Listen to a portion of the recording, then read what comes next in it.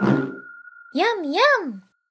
William Vaughn here with a quick look at building a clock rig using the time operator in Modo, which provides the current scene's timeline value.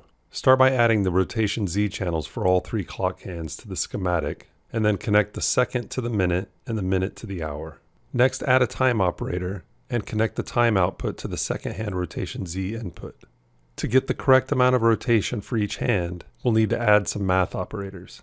Select the link from the time operator, add a multiply modifier, and change its value b attribute to 6. Add divide operators to the remaining connections, and then change the minute hand value b attribute to 60 and the hour hand value b to 12. Scrub the timeline to see this simple rig using the timeline value from the scene to drive the rotation of the hands of the clock. Oh, look at the time.